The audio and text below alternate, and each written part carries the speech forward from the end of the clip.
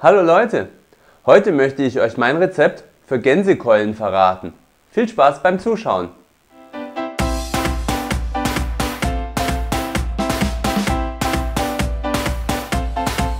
Zuallererst nehmen wir die Gänsekeulen aus der Verpackung und dann müssen wir sie gründlich abwaschen.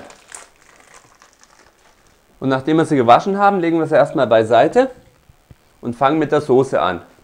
Zuallererst geben wir ein bisschen Öl in die Pfanne. Und da drin braten wir dann unser Wurzelgemüse an. Für das Röstgemüse verwende ich Lauch, Sellerie, Möhren, Petersilienwurzel und Zwiebeln.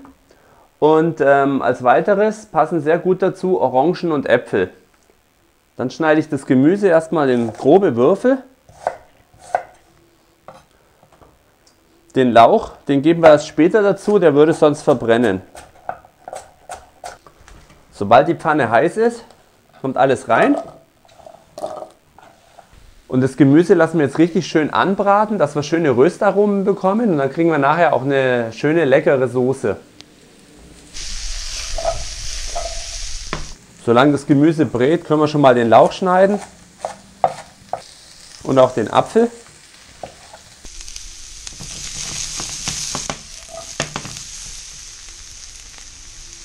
So, das Gemüse hat jetzt ein bisschen Farbe angenommen. Jetzt kommt der Lauch und die Äpfel dazu. Und etwa ein Esslöffel Tomatenmark. Und die Gewürze. Dafür habe ich Lorbeerblatt, Wacholderbeere, Pfefferkörner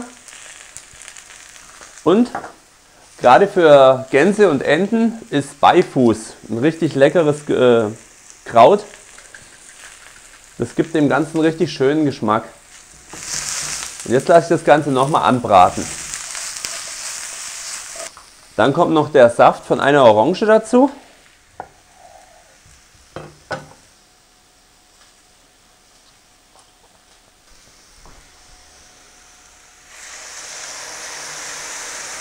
Wenn ihr wollt, könnt ihr dafür auch Rotwein nehmen oder Rotwein und Orangensaft, je nach Geschmack, wie ihr wollt. Und auch das lassen wir jetzt nochmal schön anbraten, damit wir nachher eine schöne dunkle Soße bekommen.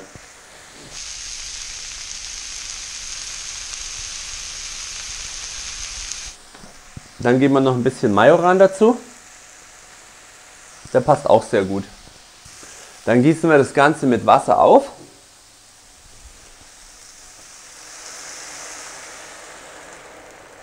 Und dann würzen wir es noch mit Salz. Und dann ist die Grundlage für unsere Soße schon fertig. Die Soße geben wir dann in eine feuerfeste Form.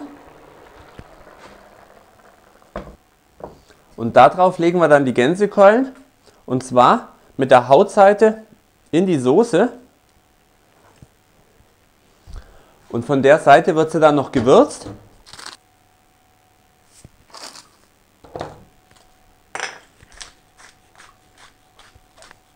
Da auch noch ein klein bisschen Beifuß drauf.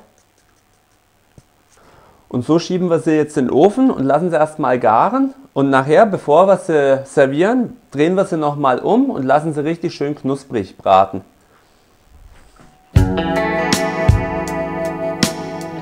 So, die Gans war jetzt für anderthalb Stunden im Ofen. Jetzt gucken wir sie uns mal an. Die sieht schon sehr schön aus, aber sie ist noch nicht fertig. Wir drehen sie jetzt mal um.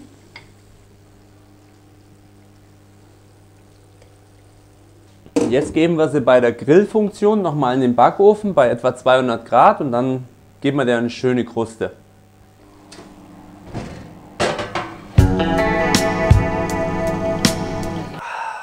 So, die Gänse waren jetzt noch 20 Minuten bei der Grillfunktion im Ofen. Die Gänse selber werden wir jetzt noch warm stellen und aus dem Rest machen wir uns eine leckere Soße. Den Fond packe ich mir jetzt auf ein Sieb und dann drücke ich mir das Gemüse noch mit durch. Und dadurch bekommt die Soße auch gleich eine schöne sämige Bindung. Und ganz wichtig bei der Gänsesoße, da müssen wir das Fett noch abschöpfen, ansonsten haben wir nur Fett. Und das wäre dann nicht so lecker. Ähm, das Fett kann man allerdings sehr gut weiterverwenden, zum Beispiel für Rotkohl zum Ansatz oder aber für ähm, Gänseschmalz. Wenn er das mit Äpfel und Zwiebel anmacht, dann habt ihr auch einen schönen Brotaufstrich. Um das Fett abzuschöpfen, nehmt ihr einfach eine normale Kelle und dann knapp über die Oberfläche, am besten mit einer leichten Rührbewegung, dann sammelt sich das Fett am Rand und dann könnt ihr das relativ einfach abschöpfen.